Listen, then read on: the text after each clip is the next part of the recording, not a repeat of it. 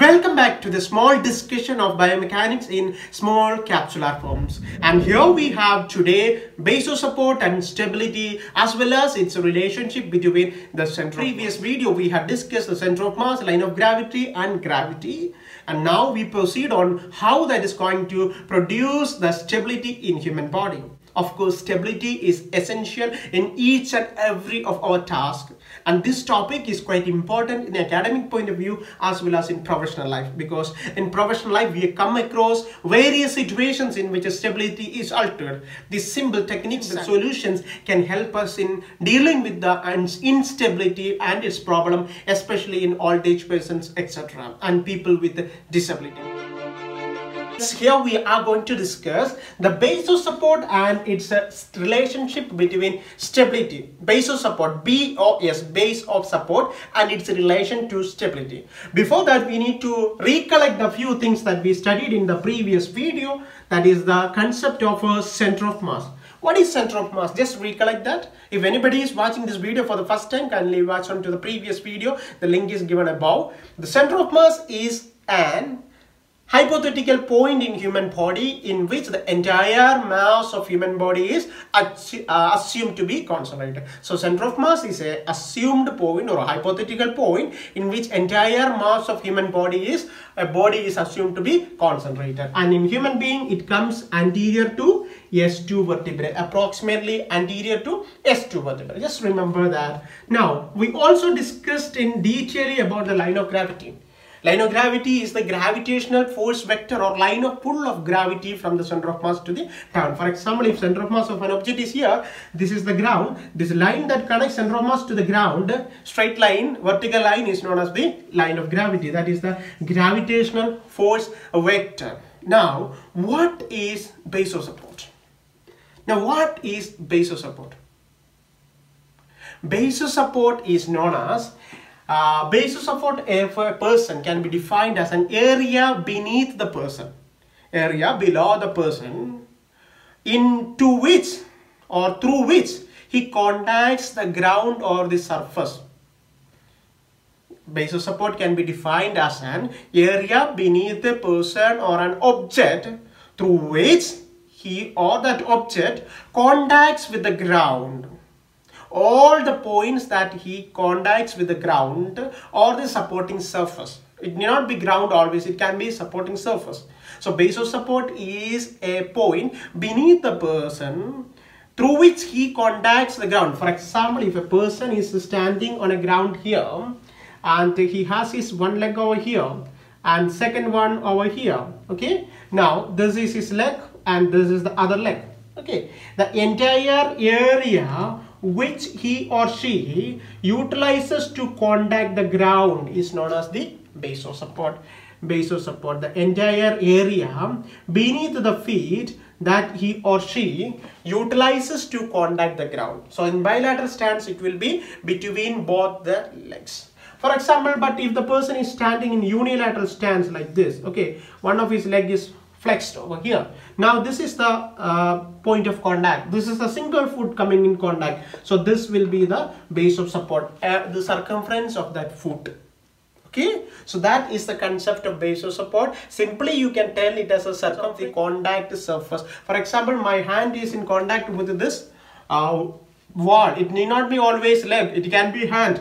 Now the base of support of this hand is just the circumference that comes in contact with the ground okay? Now we need to understand how base of support is contributing to stability. Can you imagine how it is going to contribute to stability? Imagine two scenarios. This is a scenario one and you uh, label this as x centimeter. And the situation here the second situation over here the person is standing with a wider base and this is his base of support over here. We call it as a 2x okay? Now you can see that this surface or the contact area or this base of support has increased. So base of support when base of support is going to increase the stability of that person will increase. So that is the first key concept. So comparing a and b you can tell that this person will have greater stability because of greater because of greater base of support. So base of support when it is increased, the stability of a person increase. You can simply guess it. Okay, you might have seen chairs like this. Okay, uh, chairs in labs etc. which has uh, only one uh, single support like this you might have been uh, utilizing you might have seen also uh, the normal chairs with uh, four legs okay now can you say that which of this one this or this one is more stable which will be more stable or more comfortable for you to sit when you are going forward or leaning backward etc definitely this chair would be more than this chair. In this chair if you play like you're moving forward and backward sometimes you might fall off because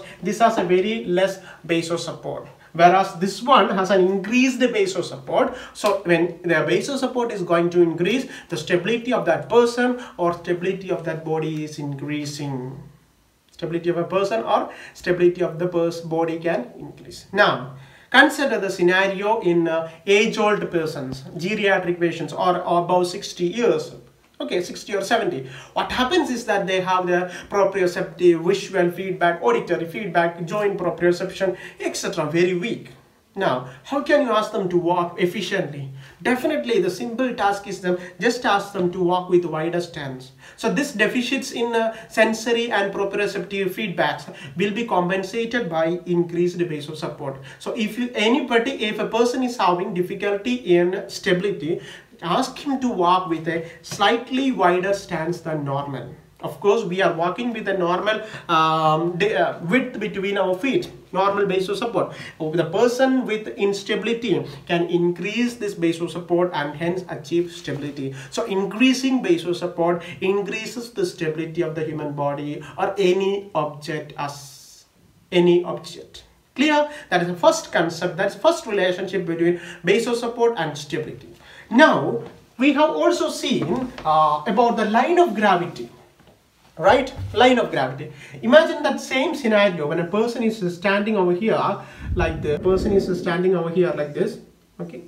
And this is his one foot this is the second foot and this is his uh, base of support. Now the center of mass of that body will be located in S2 vertebrae approximately anterior.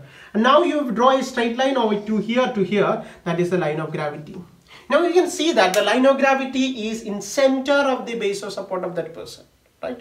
As long as line of gravity is inside, need not be the center, as long as line of gravity is inside the center of mass. If this is center of mass, this is the base of support, this is the base of support, as long as this line of gravity is inside this base of support, the person or the body will be stable. If line of gravity step outside the base of support, what can be the scenario? For example, now I'm standing like this, my line of gravity is inside the base of support.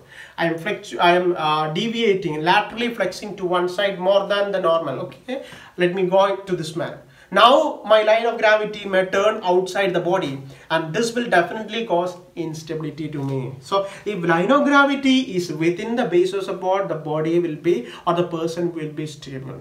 If line of gravity step outside the base of support, definitely what will happen instability. For example, I'm standing and leaning forward.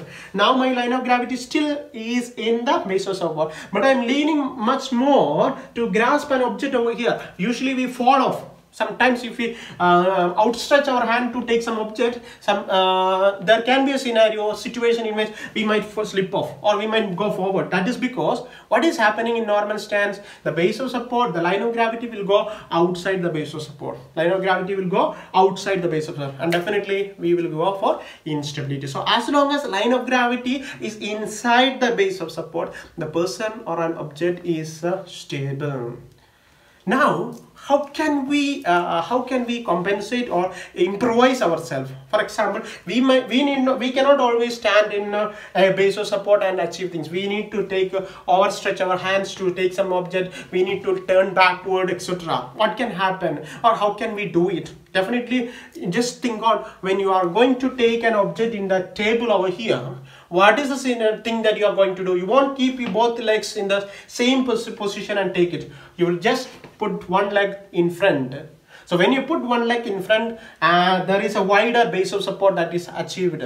Okay? There is a wider base support. And this single uh, activity what will do what will uh, what will be the result of that activity? The line of gravity still resides inside the base of support it's not just that there is wider base of support in fact the base of support itself is changing and it covers a greater area to the front. Now when i'm standing with one leg over uh, one leg in front step forward position definitely base of support is also changed and thus the line of gravity will be in still in the base of support. So this is some compensatory strategies that body will adopt. We will just step forward. That means simply increase the base of support. So if line of gravity is falling outside the body body can defend it by increasing the base of support okay? So two scenarios. First one is that base of support as long as the base of support is greater stability is greater. Second scenario line of gravity should be always within the base of support for the stability. Third one if line of gravity goes outside the base of support for stability the base of support should be altered. The base of support should be altered so that the line of gravity still reside inside the base of support okay? So these are the three scenarios that we want to give you. And finally the last point that we need to discuss is about the center of mass and stability. That is simple. When center of mass of an object is lower the person or the object has greater base of stability. What is that? What is that? Okay simply when center of mass is lower to the body the stability will be more for example, if you are sitting in a chair and if you are standing up, if when you are sitting in a chair, the center of mass of course comes down. And that is the scenario where you have greater base of support, greater stability than the standing straight. Or for example, if you are standing straight like this, this is a person one and this is a person two. Okay. Now imagine if this person's uh, center of mass is located in this point. And if this person's center of mass is located in a higher point of course the body composition and weight disposition can change the center of mass now from here to the base of support this will be the line of gravity. From here to base of support this will be the line of gravity.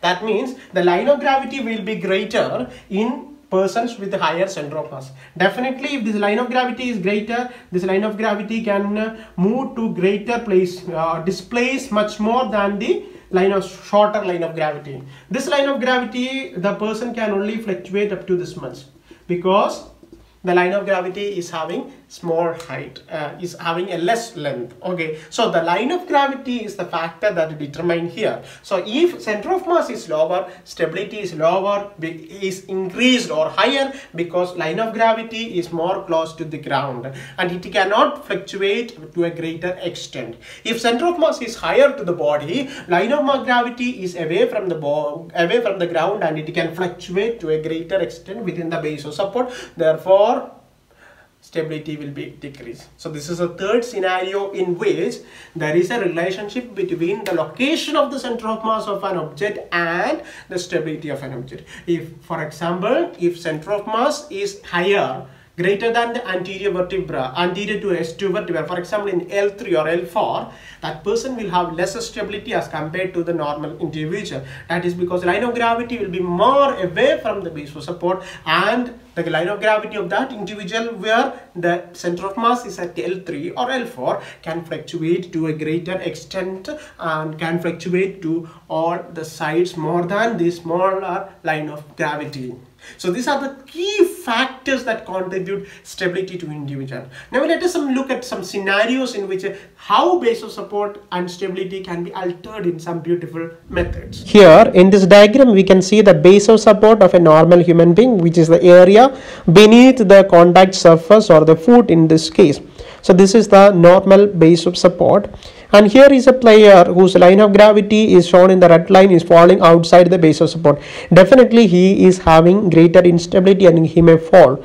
But he is balancing it. You can see that his one of his uh, hand is contacting the body of the other player. So that will increase the base of support and give the stability. You can clearly see that in this case also where a surfer, a surfer is actually having the line of gravity away from the base of support and definitely there is a chance he is going to fall off. But his hand is in contact with the water. So in both that scenario earlier scenarios you can see that in addition to the normal base of support the hand act as a base of support. Even though it contribute a very small amount of base of support it is in fact helping in achieving the stability of that individual both in that player who contact the other player with his hand or the surfer who is contacting the ground with his uh, water with the can. Of course water won't provide greater stability as the normal surface but still it is helping in achieving the stability for that individual. This is another condition in movement. Here a uh, sprinter he is uh, having his line of gravity away from the body. In fact he is adopting this position because this position enables better acceleration than when line of gravity is within the body. So a position like this allows a player or an athlete to increase the acceleration which is very much needed for him to initiate the movement. But something that is important is that the acceleration should be very fast in order to overcome the problem with the instability. So eh, these are the ways in which the base support can be altered or line of gravity can be altered either in a disadvantageous manner or in an advantageous manner for example when you are riding a cycle when you are riding it uh, in a very slow speed you will have decreased stability. But when you are uh, increasing the speed of that pedaling definitely stability increases. Similar to the situation even though line of gravity is away from the body this position adopts the sprinter to get a um, greater acceleration. But at the same time he should initiate that acceleration with a greater speed so that or he should have the greater acceleration or greater velocity so so that this uh, problem of instability do not arise because of the line of gravity uh, outside the base of support if he is going for a very less acceleration at that point when line of gravity is away from the body definitely he might go for a fall. With and with this we wind up this video. If you like the video kindly click the like button and kindly subscribe to our channel